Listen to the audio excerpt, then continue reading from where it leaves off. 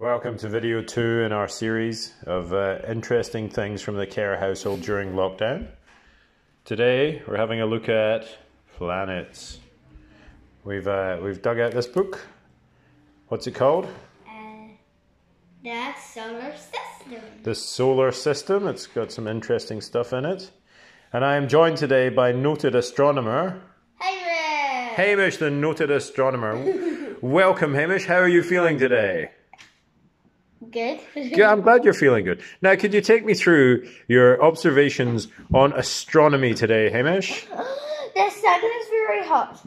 The sun is very hot. I see that's your first uh, part of the solar system. That's the central hub of the solar system. Is it not, sir?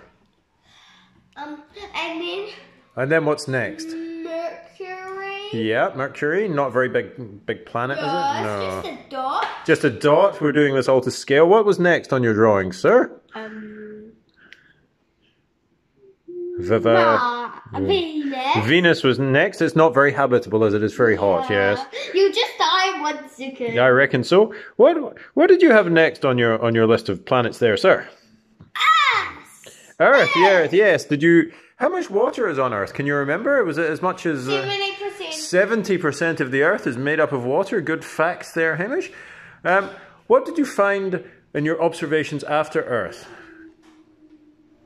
Is there a red planet on your sheet there, sir? What is it? What is it? Mars. Mars is next. So this is we're coming up to the end of your first page. And what was it after Mars?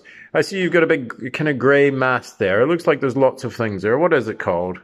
Asteroid belt. The asteroid belt. Well, that is the first page of our intense video. On to the second page. Oh, you've got some very large planets there, sir.